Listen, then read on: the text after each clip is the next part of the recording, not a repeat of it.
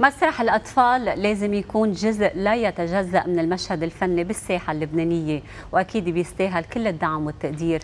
نحن بدورنا عم نضوي على أبرز الأعمال لأهم المخرجين بلبنان واليوم مشاهدينا رح نتعرف على مسرحية بعنوان لو باشور لو بواسون دوري مع المخرج المسرحي السيد ميشيل جابر. أهلا وسهلا فيك. بونجور بدي رحب بالصبايا اللي إجوا معك اللي هن بناتك آه، ياشا وألكسيا.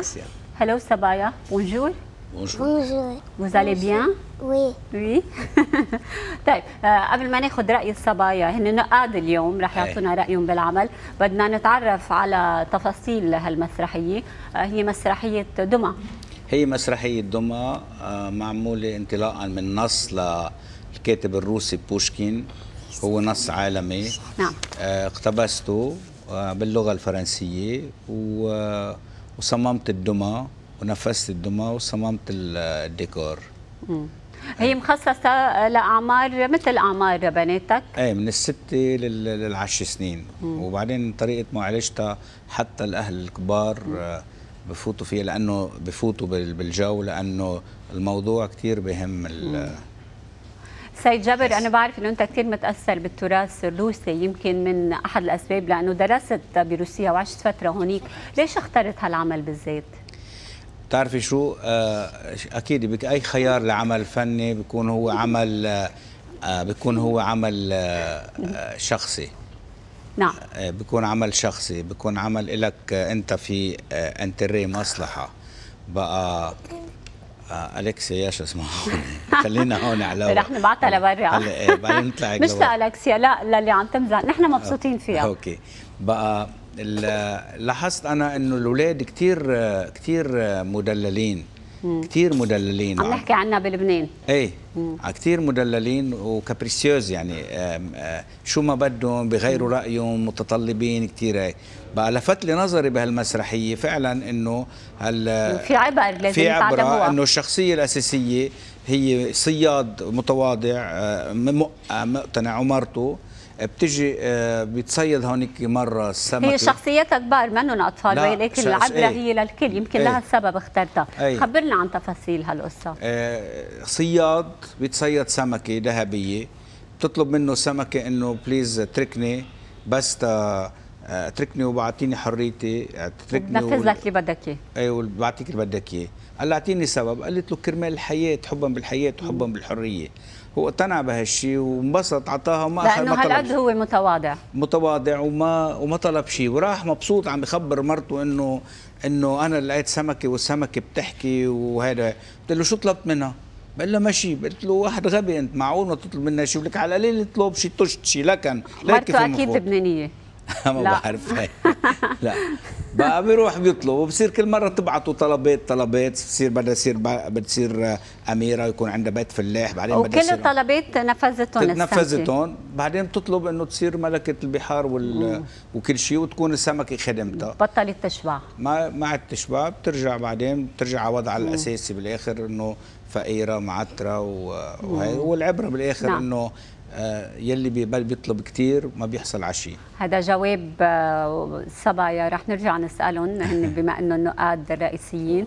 بدنا نشوف مشاهد من التحضير ومن المسرحية. okay.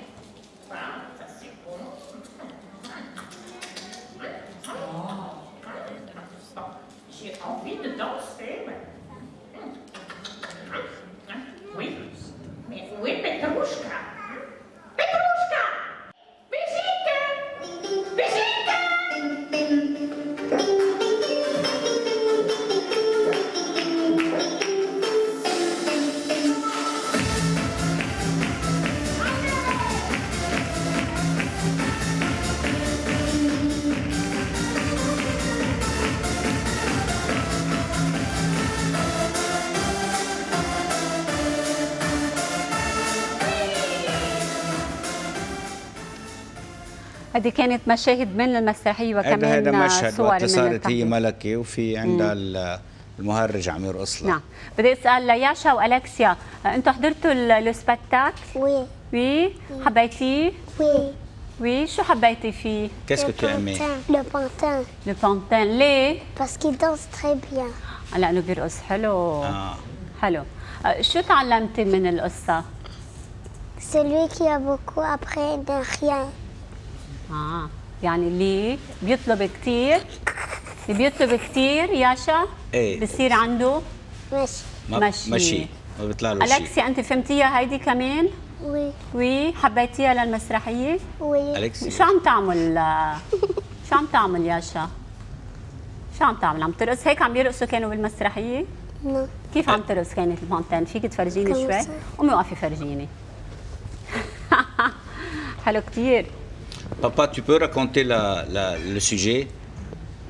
Qui peut raconter le sujet? Alexia, tu peux? Alexia, tu peux raconter le sujet? Non. Comment non? Pourquoi tu es là? quoi? Hein? Yani le l'histoire, tu peux raconter l'histoire? Oui. Raconte-la. Il y avait une femme, elle demandait beaucoup, elle a demandé beaucoup, elle n'a plus rien. Ah uh c'est ça? Et qu'est-ce que. Euh, chou, avec Masrahi, papa? Qu'est-ce qui t'a plu? Le pêcheur et le pantin. Tu sais chanter la, la chanson du pêcheur? Oui. Chantez-la. Je suis un pêcheur très très vieux. Avec grand-mère, je suis heureux. Dans, Dans une pauvre et humble cabane, je range mes filets et mes cannes. Dans mon bateau, je pars en mer. En toutes les saisons, même en hiver. Grand-mère est inquiète quand je pars. Surtout quand je rentre un peu tard. اوكي ميرسي لا برافو كثير حلو آه، مشروع نجمات مسرح الصبايا لا ما بعرف ما هن بيقرروا بتشجعن؟ ما ب... ما بقرر هن بيقرروا السيد جابر لفتتنا كثير موسيقى المسرحية. في آه، مقطوعات معروفة عالمية. إيه، في- وهلا أغنية بتصور انعملت خصيصا إيه لهالمسرحيه آه، ألفتها سينتيا زافين. ليش اخترت آه، موسيقى معروفة؟ وبنفس الوقت ألفت اشياء جديده؟ لأنه صراحة كثير في في لحظات كثير تعبيرية بال- بالمسرحية. آه، وبدها موسيقى عملت ريسيرش على موسيقى عالمية لتدعم هاللحظات يلي هي ممكن تكون لحظات فرح نعم. وقت اللي آه، بيكتشف آه، بيعطيها الحرية آه، واكيد الموسيقى بتعبر عن بتعبر عن هالشيء في مح- محلات لحظات بالآخر هو يعني ال- الدمية انسنتها للدمية. يعني اعطيتها طابع انساني حياة يعني هذا. المميز باعمالك. انت اهتميت بكل تفاصيل هالمسرحيه من الإخراج لإقتباس النص لتصميم الديكور لتصميم الدمى آه، حجمهم كبير كمان الدمى إيه في إذا فينا فرجونا من المشاهد هيك بالصمت وأنا بحكي بعلق عليها بيكون ماما؟ آه لحظات كثير مثلا محلات بيزعل. آه بيزعل. لا مثلا ليك مثلا هون قديش حجمهم الدمى آه كبار. نعم. تصرفهم تصرف آه، مثل ال- مثل الناس. تصرف كثير آه إنساني بتنفعل آه بتغضب بتضحك. آه آه، ردات فعلها كثير قريبة من ردات فعل علاقات نعم. بين آه، الرجل آه، آه، و- و- ومرته. بعدين في محلات بضخم باللعب بالإيداء ل ل ل- لسطر فكرة نعم. معينة. okay. الطمع والغرور بخسرنا كل شيء. هيدي هي- العبرة هيدي الأساسية. العبرة، okay. آه مهم إنه كلنا نتعلمها كبار وصغار. وين عم تنعرض المسرحية هلأ عم؟ نعرضها ب Saint Joseph School Theatre آه للمدارس. وبعدين عم نفتش على صالة نروح عليها. وأكيد ممكن تتنقلوا لغير نقدر مدارس. ممكن نتنقل لغير مدارس. إن شاء الله بنشوف قريبا على إحدى مسارح بيروت حتى يستفيدوا منها أكبر عدد من الأولاد. أنشانتي سبايا هلأ رح ناكل. شيء طيب أنا وياكم ألكسيا وياشا. وي تو فو وي يلا بعد شوي. شكرا. لك أستاذ. جابر أهلا وسهلا. فيك وقفي مشاهدينا وبنكمل بابا هم جرصة عندي